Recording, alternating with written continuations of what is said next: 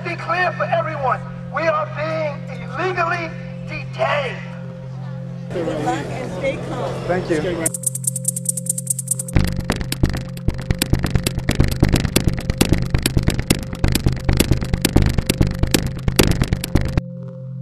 It's a really diverse area of St. Louis. Diversity to the diversity. Racism. The white kids, they want to be black. We're so color struck. Frightens me to go to a white bread area.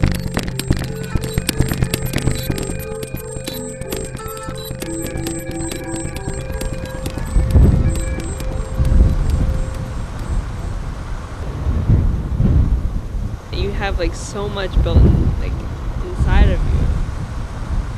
Maybe you have to get this out like some other way.